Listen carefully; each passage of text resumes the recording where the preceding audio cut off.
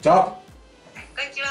はい。はい、ゆらかさん。はい。今日はちょっと三年生を振り返りの時間ですけど、はい。ちょっと音声にはい。ちょっと時差があったらごめんなさい。ということであリモートでお送りします。はいはい。ね。はい。はい。今日3連戦を振り返るということでまああのこの夏場バテると思ってたんだけどさこんな暑いのに頑張る投手陣たちって投手たちいやーこの3連戦はやっぱ投手が頑張ったよすごく。うん。ね。でついでに初めてのことが多かったなということね。なんでしょうね。ああなんでしょうね。まあいろいろあったよね。で夏の甲子園対戦相手が決定したと。ね。え、これもういろいろありますけどね。まあだけど愛媛の川之江とうん。高知がいきなり四国同士で当たるんだね。そういうの？ちょっと困るんです。まあ困るだろうな はいということで看板やちいちゃんいないけどもう手書きの部分俺が書きました。すいません。あの文字のところね。はい。はい。はいということではい。はい。まずセ・リーグ。はい、セリーグです。はい。結果はこのようになりました。はい。はい、巨人対ヤクルトは巨人が2勝1敗で勝ち越し。はい。広島 d n a は1勝1敗1分けという結果になった、中日阪神は阪神が2勝1敗の勝ち越しです。はい、はい。さあ行くよ。まずは巨人とヤクルト、うん。えー巨人菅野グリフィン戸郷。ねヤクルトの方は山野高橋奎二ピーターズ。はい、ね、え1試合目1対0うん。ヤクルト山野が菅野に投げ勝ちました。これはあの高川学園、はい。えー私の高校の後輩になります。本当ですよ、ね嬉しさひとしおというところでしたね。なあだから2年ぶりの登板でねまあどうなるかな相手が菅野だからなってまあいいピッチングしてほしいなと思ったらとんでもない。うん。山野が7回83球4安打2三振の無失点ということではい。立派に投げ勝ったというね。うん。ただ菅野もね素晴らしく良かったんだけどはいあのーワンアウト一三塁長岡のゲッツー崩れの間に1点を取られるんだよね。うん。その1点だけだった、まあ、菅野。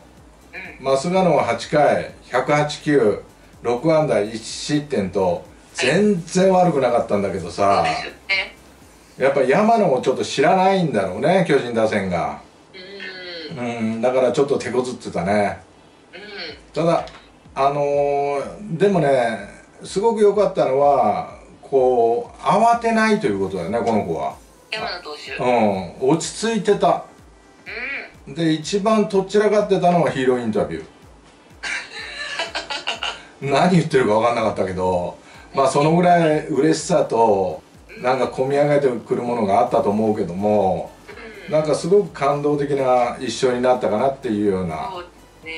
はいでまあ巨人はまあ昔から言われてるんだけど、まあ、初物に弱いって言うけど初物以前に山野みたいなピッチングをされるとねどこの球団でもこうある程度抑えていったかなっていうふうに思うよねまあ素晴らしかったです山野おめでとはい、おめでとうござういます。ねはい。で2試合目9対2はい。巨人高橋奎二に対して右打者3人はい。が先発するんだけどあとは左なんだよね左対左ということでで高橋に対して右打者3人その3人が5本のホームランを打つというはい。坂本2本岡本2本グリフィン1本というねうん。やっぱホームランの力っていうのは大きいしまあ技術ってでかいなと思ったのはうん。やっぱ坂本が外からのスライダーをまず1本目に打って2本目はインローのまっすぐを腕を畳みながら非常にうまく打った技術っていうのはねまあ素晴らしかったしやっぱ巨人ってまあ昨日の今日だから1対0という試合のねはい。このホームランのこう力は大きかったかなっていうふうには思ったね。うん。でグリフィンも立ち上がり悪かったんだよね。バタバタバタバタしててピッチャーゴロ暴投するしみたいなでもやっぱりこう粘って7回を3安打2失点と非常に立ち上がりを苦しんだだけであとは非常に要所を抑えながらうまいピッチングをしていったね。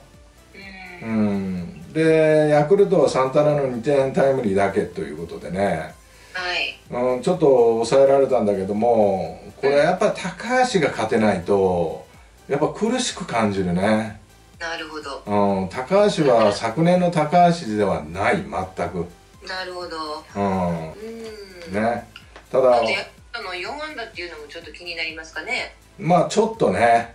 まあ気になることは気になるよね。はい。はい。で3戦目。はい。2対1巨人。うん。まあ岡本の2本のホームランで打つん勝つんだよね。はい。まあ2回ビーズリーからちょっと高めのカットボールを巻き込みながらホームランしてうん。で先制するんだよね。はい。で2本目は清水のフォークボールをすくい上げて持っていくというね。まあ非常にこれも技術があるなということを感じたし村上の目の前でうん。この3カードで4本のホームランを打つっていうね。いや村上もこう尋常ではないよね。頭にくるよね。そうですよね。うん。それでこの試合戸郷が完投。149球。プロ入れ初めて。149球投げたのがね、うん。で5安打。10三振。1失点というね、まあオスナーにタイムリーを打たれただけであとは抑える。ただ9回塩見がヒット。村上、えーフォアボールでノーアウト1、2塁。サンタナ三振。代打青木セカンドゴロ。その間に2、3塁。一打逆転というピンチも宮本がレフトフライということでゲームを締めるんだけどさ、はい。え川端どうしたのって思うけど23塁になったから川端出せないんだよね。うん。川端出したら多分ね申告敬遠になるんだよ。そうですよね。あーだからその宮本でフォアボールで満塁になって川端っていうかさうん。宮本が打って1、3塁で川端ってなるとうんこれまたゲームの展開が非常にややこしくなってきたと思うんだけどもやっぱ戸郷が宮本で打ち取ったということがねうん。でネクストで川端が振ってたから姿が見えてたからやっぱ不気味だったと思うんだけどやっぱよく抑えた戸郷。よーく頑張ったよ。うん。でも期待に応えたのが4番の岡本。ね。エースと4番で勝ったと試合だ勝ったという試合だったね。本当に。うんお見事でした。はい。ね2勝1敗というふうに勝ち越した。とはい。いうこと。はい続きまして広島と d n a 広島は栗森床田。で d n a は今永浜口バウアーということで。うん。ねえこれはいい勝負になるだろうと。いうことだったんだけどまあ1勝1敗1分けと。はい。ね、1試合目5対 3d n a はいこれね今永が5回ワンアウトでワンアウト一塁の場面で途中交代するんだよね。でなんかアクシデントがあったと思うんだけど走ってベンチに帰ってたから熱中症とかそういう問題ではなくて、まあ、どっか足でもないよね走って帰ってたから。ね。だから土方じゃなかったらいいのにな脇腹じゃなかったらいいのになと思ってるんだけどもね。うん。でもその後石川があの受け継いで秋山を、おショートのライナーで併殺に取るんだよね。うんで1対1からはい。堂林に勝ち越しを打たれるんだよね。でも7回5安打を集めて3点を取ったのが大きかった。d n a はね。うん。はい。で9回には宮崎があのーダメ押しでもないんだけども追加点のタイムリーを打ったのが大きかったうんね、やっぱり宮崎なくして d n a なしということで宮崎が3安打うん。2打点というね活躍でした、はい。ただこの試合でねちょっと気になったことがあって、えー気になったのは元クローザーのおー山崎康明栗林がやっぱ失点するんだよね。だここら辺がねなんかこうピシッと抑えてゲームを締めて自分たちがまたクローザーに戻るよっていうようなそういう姿ではなかったんだよ。うん。うん。だからちょっとこう心配だねこの後ね。調子を上げてほしいなっていうのは感なかなかクローザーにっていうことはまだ厳しい感じなんですよね。じいやちょっと厳しいよね。でこの日ね2安打の牧が、えー新人から3年連続の100安打を達成というね。素晴らしい。球団史上は2人目かな。うんあー素晴らしい記録だよね。ははい、はい、まあ勝ちました、まあ、今永がちょっと心配だけどもね、そうですね。はい、で2試合目、えー4対2はい。広島、えー両チームともねものすごいストレスのたまるゲームだったんだよね。でランナーは本当に出すんだけどもさ返せないというね。あと1本が出ないというのが両チームのああの戦い方だったんだけどもまあ d n a は4回に宮崎牧佐野太田の4連打で1点しか取れなかったんだよ。うで後続が倒れるのとやっぱワンヒットで2人が帰ってこれないっていうことがあって、えー後続も倒れて1点っていうのがすごく、まあ、大きかったかなっていうのが思うね。で9回に3点を追う d n a え四球のおフォアボールの大和おおが出てね。で代打梶原がタイムリーツーベースを打つんだよ。はい。で代打、えー楠本がフォアボール。でノーアウト一二塁。あ2点差なんだよね。はい。で桑原にバントじゃなくて強行に行くんだよ。でゲッツーでうーんゲッツーで後続も打たあのー関根も打ち取られて、えー試合は終わったんだけどさ、まあ、桑原に送りバントだったら、まあ、一打同点。もしくは打ったバッターが塁に上にいたら逆転っていう可能性もあったんだけどもさ、まあその桑原の後が関根宮崎牧って続く打線だっただけに、まあ、三浦監督は一気に逆転。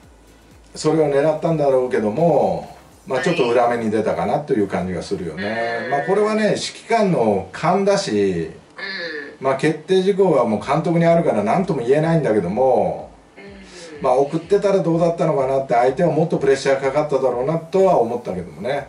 なるほど。ううん。んまあ広島はね森がすごく粘ったよ。はいうん。あのー被打率得点圏での被打率が1割ちょっとなんだよね。だからランナーを出すんだけども要所を占めるというピッチャーなんだよ。で浜口もねトータル的には悪くなかったんだけどもやっぱ立ち上がりにやっぱ課題があるね。もう少し立ち上がりをうまく立ち上がればこんなに苦しまなくてもいいのになって思うんだけどもね。うん。はい。まあそういう試合でしたはい。はい。うーん。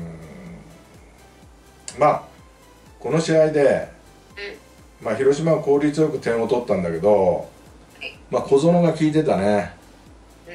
まあ、先制にとなるうーんツーベースを打ったりだとか、はい。まあ、貴重なタイムリーを打つ、うん。まあ、代打代打松山もね、えータイムリーを打って、まあ、効率よく点を取るでこの試合でやっぱ感じたのが上本が4番に入ってんだけどタイムリーも打つわ送りバントはするわ。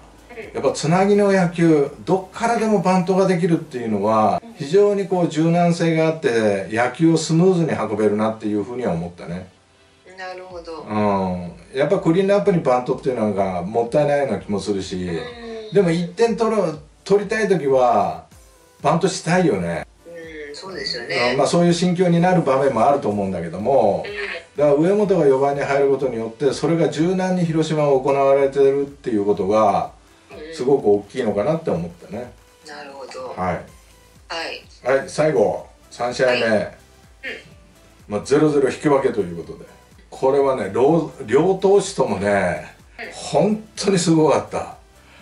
他のチャンネルも回したいんだけどさはいまあなんか引きつかれ引きつけられたこの2人には。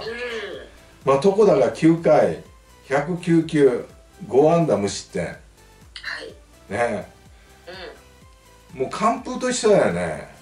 んいやもうこれねね普通にね本当。うん、でバウアはい。ー10回123球。う4安打無失点。バウアーが延長10回投げたのはプロのキャリアで初めてらしいよ、んおおうん、これも初問だよね。うんうん。で床田はねはい。1番の桑原に2本。6番の大谷3本打たれて5安打なんだよね。うんうん。だから打線を寸断してたということ。そうですね。これが大きかったね。うん。仮に左だから桑原1番2番大谷してたらしてたらうん。多分ね点を取られてるはずだよ。だけど打線を寸断してたから他に打たれてないわけだからうん。だからこれは見事だったな。うん。うん。でもね広島もね後半バウアーに対してバントを仕掛けたりだとか秋山にバントを命じたりエンドランをかけたりすごい執念を感じたね。なんとか1点という。もう1点取ったら勝つからさ。うん。でも後続のそのピッチャーもねやっぱ相当なプレッシャーもあったと思うけどもいやよく頑張ったと思うよね。うん。だから見応えのあるうん3戦目でした。はい。でも1勝1敗1分けというね。ねえ。まあそういうことになりました。はい。はい、えーセ・リーグ最後、えーい。中日対阪神、うんえー中日小笠原メヒア中地中地、えー阪神は西純也秋山ビーズリー、ということで、え1試合目10対2阪神。で2回2対2で迎えた6回、はい。えー、ツーアウト満塁から梅野が押し出しのフォアボールを選ぶんだよね。それで勝ち越し。はい。で続く西純也ライトオーバーのタイムリー走者一掃の二塁打。うんもう二刀流にしちゃえっていうぐらいの本当にいいバッティングしてるわ。で7回には佐藤がスリーランホームランであの広いバンテリン、えーバンテリンでセンターバックスクリーン余裕を持って入るホームランだからね。うん。うん。まあ見事なね、えー勝ちっぷりだったんだけどまあ中日は細川がホームランを含む3安打と気を吐くだけでうん。あとはパッとしなかったし小笠原がちょっとねもうちょっと頑張れなかったかなっていうのはあるけどもね。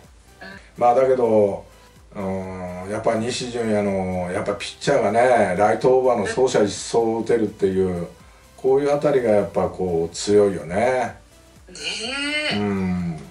まあ見事圧勝でした1試合目はね。はい。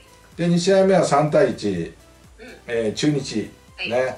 中日はメヒアが3回で交代するんだけど、えー計7人の投手リレーで、まあ、逃げ切るんだよね。まあ確かにやっぱりこう出てくるピッチャー出てくるピッチャーいいピッチャーだよね。うん。うん。だから昨日のバッティングが阪神打線嘘みたいにあ沈黙しちゃって。ねまあ4安打。ね4安打で近本のホームランだけだったで中日はメヒア岡林宇佐美が、まあ、それぞれ打点を挙げるというね。うん。うんで宇佐美はね阪神戦にめっぽう強くてうん。4割8分打ってんだよ、ああすごいですね。うん、で25の12打ってんだけどさ。うん。だからまあ宇佐美に、まあ、3点目を叩き出されるということでまあここら辺やっぱり宇佐美対策っていうのはこれから阪神は考えなきゃいけないのかなっていうふうに思った瞬間があった。はい。はい、で秋山、まあ、久しぶりの一軍の登板だったんだけどもちょっと苦しいなこれじゃ。まあ 4, 4回3分の29安打打たれる、はい。まあ、打たれながらでも要所を締めるピッチャーではあるけどもうんうんちょっとスピードが少もう少し足りないのと、まあ、ちょっとコントロールのピッチャーなんだけど甘め甘めに入ったりとかするケースも多く見られたからね。まあ再調整というか調整をして次の登板を待ってほしいと思います。はい。はい、で3試合目、えー5対2阪神。はい。ビーズリーが来日来日初勝利。はい。おめでとう。息子がね生まれたばっかりみたいなんだよ。で初めてあの初めての子かなで早く息子に会いたいというね。本当ですよね。本当はね言ってたけどこのウイングボールは誰にあげますかみたいな。そしたらもう分かるじゃんな。それをわざわざ言わすというね。ね。うんいやもう息子に決まってんだろうというね。まあ初勝利ねえー5回3分の24安打8三振1失点というね。まあ5回は投げて8三振。まあ結構ボールも動いてたしまあ力もあったよね。だからナイスピッチングでしたね。で阪神の方が3回に佐藤タイムリー。4回近本のもうほんと外のスライダーギリギリいっぱい。中地の決め球なんだよ、はい得意のボールをこう K 出してショートの頭を持っていく、まあ、タイムリーヒットを打ったんだけどやっぱり近本の存在感というのはでかいなと思ったね。で5回。はい。大山はフォアボールから、まあ、佐藤島田梅野木浪の4連打ね。5回までに11安打を集めてまあ勝負を決めたというね。ただ6回以降はヒットないんだよ。ここら辺がちょっと心配なんだけど。ね。でもこの3連戦でやっぱ佐藤が当たってるということ。まあこれがやっぱ打線を軽くしてるよね。うん。重い打線だったのが佐藤が打つことによってなんか非常に軽くなる感じがしたよね。うんで中地はこの前初勝利を挙げたんだけども、まあ、はい今回は4回10安打5失点というねちょっとゲームを作れなかったね、まあ、そういう試合でした。はい。で着実に足固め。うん。ね。えー中日に対して勝ち越した2位3位のチームが1勝1敗1分け。ね。もう何にもならなかったというね。縮めることすらできなかったという。うんで浮上してきたのが巨人、本当に。うん、勝ってねヤクルトに。ゲームなしという状況ですかね。そうゲーム差なしでまあ6ゲームかな。あー4チームが6ゲームの中に入ったということだよね。そうですね。はい。うん。だからまあ阪神はすごくやっぱこう着実にというかね。あのしっかり中日に勝ったなという、まあ、下位のチームに勝ったというね。まあ今度は阪神と d n a かなだかはいらここがもう一つの山になってくるね今度ね。そうですね。はい。ということでしたセ・リーグは。はい。はい。はい続きまして。パ・リーグ。はい。がこうなりました。はいこうなりました。オリックスと楽天は2勝1敗でオリックスの勝ち越し、はい。レッド日本ハムは、えーとはい。日本が2勝1敗の勝ち越し、はい西武ソフトバンクは西武の2勝ということですね、はい。まああの試合だったんですよね。そうそうそうそうそう。そういうことです。はい。さあ行きます。オリックス対楽天。ね。えー山本宮城田島。はい。ね。えー楽天の方は早川庄司田中、はい。え1試合目6対2オリックス。で、え1試合目山本が両リーグ最速の10勝ということでね、はい。えー7回106球7安打7三振無失点という。はい、ね、まあ7安打されるけどもまあ初回のピンチではフランコに対して3球連続でフォークとかさうん。やっぱこう力もあるんだけど 考え抜かれたね。まあ投球も目についたと。そんな感じがするよ。はい。で頓宮が援護まあホームランを含む3安打。うね。えー7月はね1割8分8厘と苦しんだんだよね。まあだけど8月いいスタート切れたよね。うん。まあ、3安打と1ホームラン、ね。はい。エースに援護射撃ができたということで。うまあだから山本はやっぱさすがだよね、んねえ、まあ、15試合ぐらいで10勝してるというね。ううん。だからまあ大したもんだねやっぱりね。んね。はいはい。まあそういう試合でした。はい。で2試合目3対2オリックス、まあ、この試合は茶野のサヨナラヒット、はい。ね、この試合では義母が2打点。うん。えー、大津で同点タイムリー。の時にはセカンドランナー広岡。はい。好走塁なんだよね。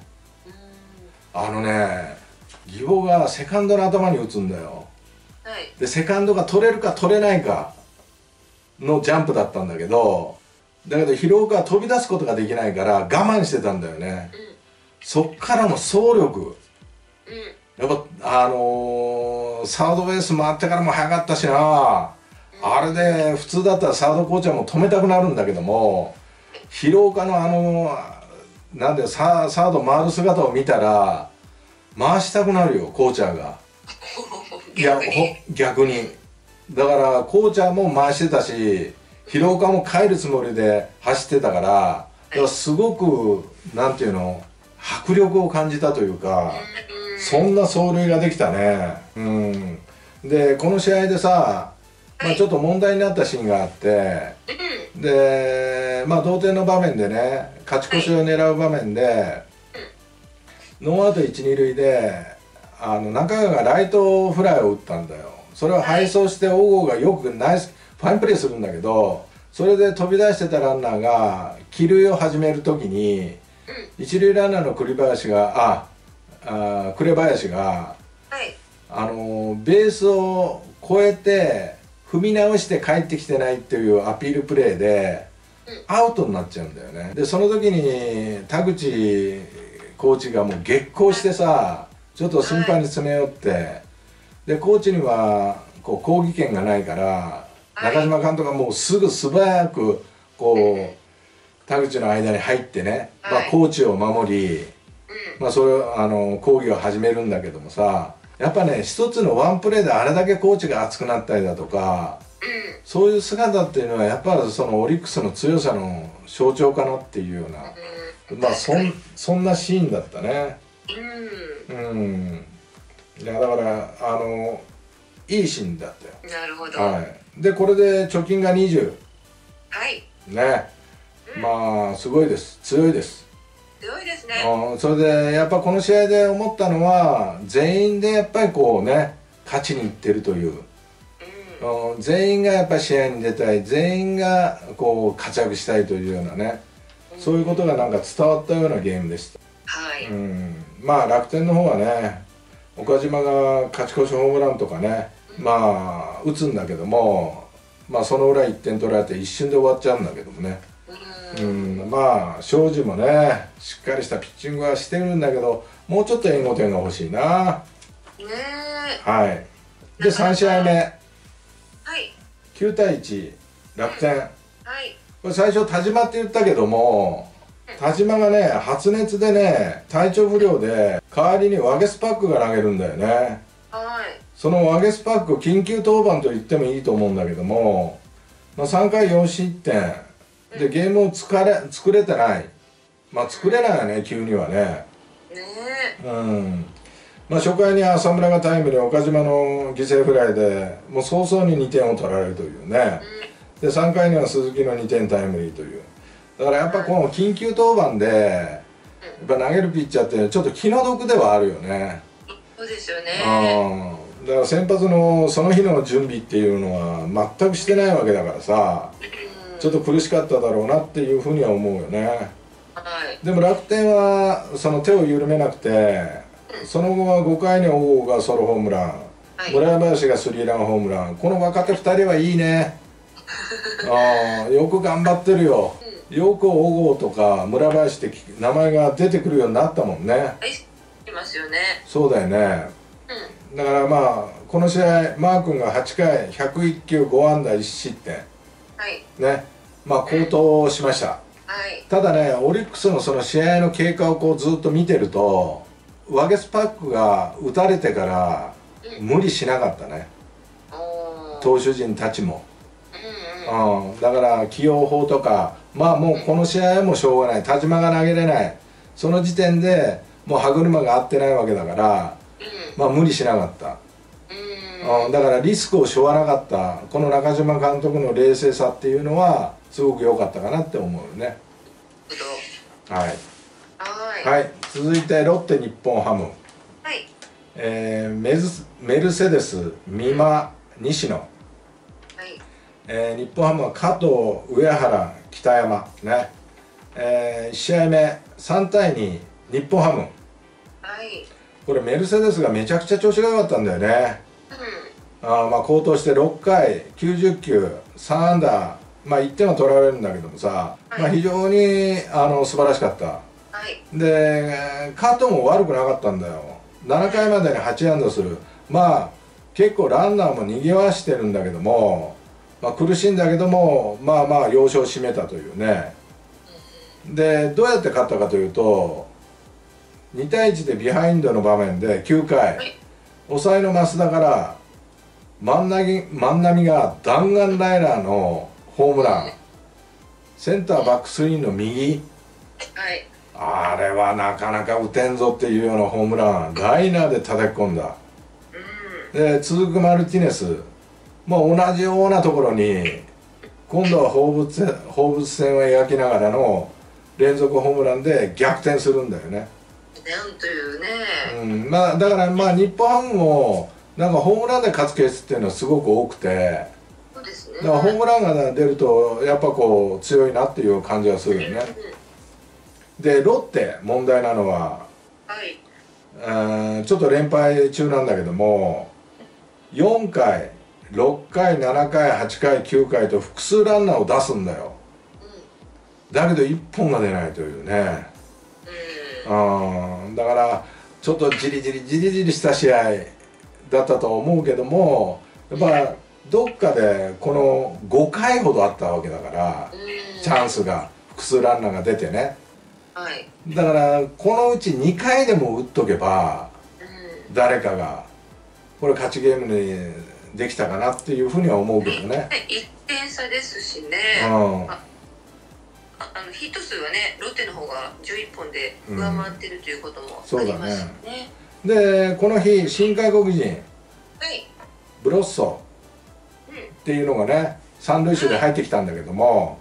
はい。まあ1安打、まあ、初ヒットも打って、まあ、2三振はしたんだけども、まあ、ヒットを記録したという。これからの活躍に期待したいというね、本当ですね。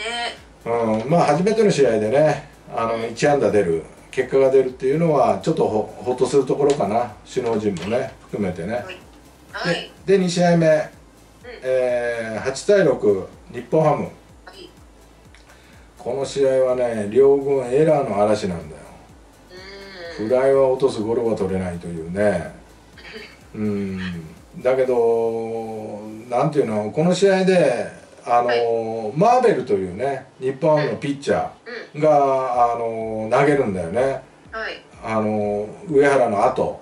うん。で結局5回を投げるんだよリリーフで。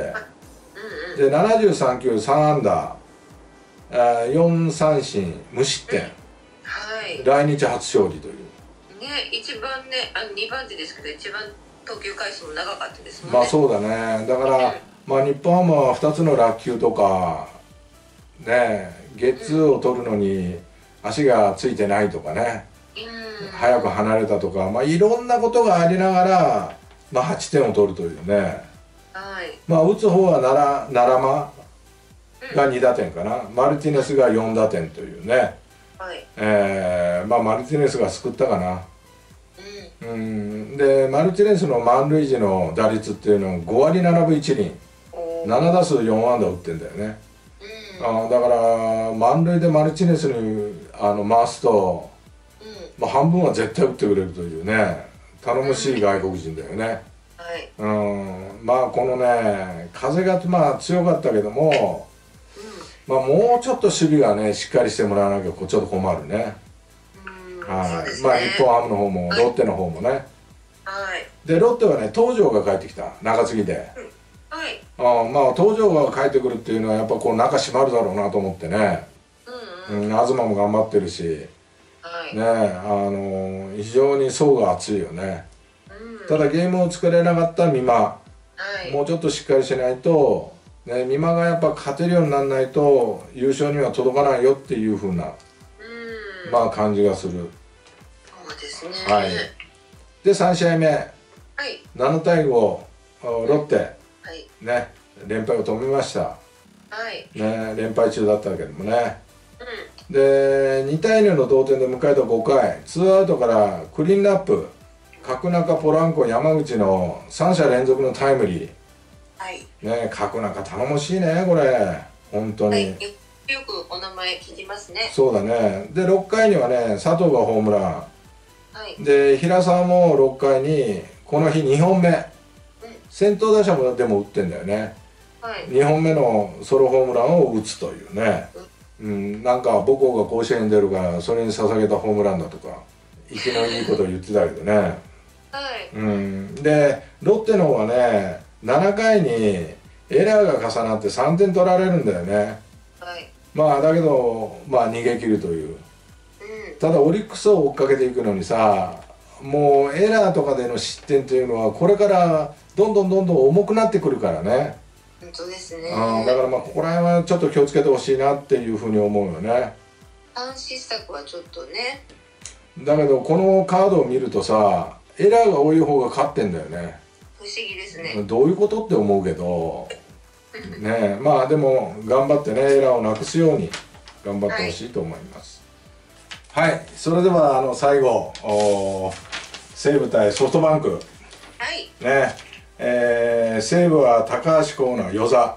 うん。ソフトバンクは有原石川。はい。ねえー、5対0西武、はい。ね、高橋光成が、えー、5四球とちょっと苦しむんだよね、まあだけど7回を 4, 4アンダー無失点。うん。まあ頑張ったよね。で高橋光成は2試合連続完封中でこの日もチャンスがあったんだけどだけど5四球出してるからねちょっと苦しんで球数もこう多く投げ投げてたから、まあ完封はいかなかったけどまあ無失点というね、まあ立派な投球をしてくれたんだけど。で1点先制した4回、まあ、長谷川を申告敬遠する。うん。これなんで申告敬遠したかっていうのは先制点を叩き出した長谷川が、えー打席に立ったから申告敬遠、うんまあ、次のキャッチャー古賀との勝負に行ったんだけど、まあ、2点タイムリーを打たれるというね申告敬遠した長谷川まで戻ってきてしまうという。うん。ちょっとまあちぐはぐさが目立ったんだけどもね。はい。まあ高橋光成にとっては勇気づけられるうータイムリーだったよね。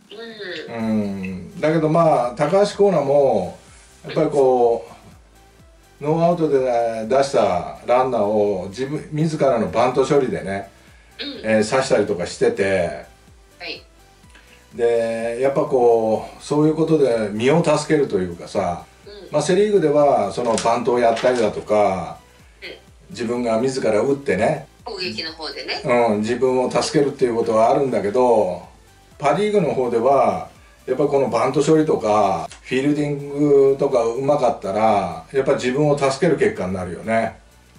はい。うんまあ良かったと思う、はい。でソフトバンクはね唯一うーんまあチャンスといえばまあ結構あったんだけどもはい。まあ有原だね。やっぱりこうここはピッチャーかな。有原がゲームを作れずまあ打つ方も5安打と元気がなかったというねですうんまあねちょっと本当にあのちぐはぐしてるなっていうねソフトバンクはそんな感じがします。うんはい。やっぱりあの連敗の影響なんかもありますかね。まあ確かにあるかもわかんないねこういうところがね。はい。で2試合目が2対0はい。与座が完封ということで。うまあソフトバンクは2試合連続完封だよね。まあ3回にはペイトンがタイムリー。4回にはウーネンティンがまあ二塁打タイムリーというね。まあ2点を取ったんだけども、その2点を、ま、あの守ったのが与座。まあ9回2安打4三振無四球の、えー0点というね無失点という。やっぱ四球がなかったっていうのはいいよねこれはね、まあで完封をするというこの暑さの中でね。ねうえん。で危ないシーンっていうのはそんななかったんだよねまあ唯一挙げるとすれば6回に先頭打者を出してはい。まあ、続くシュートをセカンドゴロゲッツに打ち取るという、まあ、あのシュートが内野ゴロでゲッツ取るん取れるんだと思ってね。まあ確かにいい当たりではあったけども、まあ、シュートの足を考えたらと思ったけどもが外崎と源田のねあの素早い動作っていうのはすごく流れるようで綺麗であったということだよね。でソフトバンクは元気がなく、まあ、2試合連続完封。はい。この試合は2時間8分で終わってしまったというね、うん。まあパ・リーグ最短試合だったんだけども。うん。まあこれでソフトバンクは自力 V が消滅。でこのあらあらだよね本当にね。本当に。まあソフトバンクって優勝候補に挙げるね解説者も多くて、そうですよあねーまあ今90試合ぐらいかな。90、まあ、100試合いかないところで自力 V が消えちゃうっていうのはねちょっと寂しい。ねでまた今後ねどうなっていくかが。まあそうだね。でこの試合ではねあの柳田が3番近藤が4番っていうふうにまあ、入れ替えたんだよね。で今までは2番に近藤が入ったら柳田3番。3番に柳田入あの近藤が入ったら4番に柳田っていうふうに近藤柳田近藤柳田っていうのを近藤が動くたんびに柳田も動いてたわけね、うんうん。うん、だけど今回だけは柳田を3番にして近藤を4番にしたというね。まあこれもこうそうさなかったというさまあちょっとソフトバンクとしては非常に苦しいなっていうふうにねねえ。まあ思うけども、はい。まあ、そこで、えー自力 V、まあ、消滅という丸々はねもう分かったと思うけどそうですね。まあこのままで今は独走しちゃうよということではい。まあオリックスのあの充実ぶりっていうのがねすごく目に光るし、まあ、全全力で戦ってるというね全員で戦ってるという。うんうんでロッテの方はちょっとミスも多く出だしてきてるからはい。ちょっと心配だしソフトバンクは元気ないしね。うん。まあそこら辺がちょっと心配かなパ・リーグはな。はい。はい。で明日からはい。d n a と阪神がやります。はい。ね。えでヤクルト巨人かな。巨人ヤクルトかな。まあ上位4チームが直接対決をするんだよね。広島広島巨人ですよあ広島巨人か。あそうそうそう、はい広島巨人だよね。だから上位4チームがうこう当た当たるということから考えると、んうん。まあ、そこら辺で d n a はもう生き残りをかけてなんか阪神とぶつかっていかなきゃいけないし、ねえ。まあ、阪神の方はあの独走をねう固めるために、まあ、負けられないし。んねえでもそうだね。追っ手の広島巨人っていうのもね星の潰し合いをしてるんだったら、まあ、阪神が勝った時にはもうぐっと離されるしね。うん。だからまあここの対戦っていうのは相当そのセ・リーグをセ・リーグの今後を決めかねない。本当にね。そうだね。対戦になるのでね。またこのタイミングでこの組み合わせっていうのはね。そうだうねん。でローテーションをなんかこう d n a に合わせてきてるからね。なるほど。阪神の方は、うん。うん、だからまあそこら辺がどうなってくるかなっていうのは思います。はい。ね目が離せないね。本当ですね。本当はね。うん。まあまあまだまだ本当に暑さ続くけどね。まあ怪我人もちらちら出てきてるし。うん。ね怪我人出したら負けるしね。そこが心配ですね。そうだね。まあ頑張ってほしいです。はい期待してますよ。はい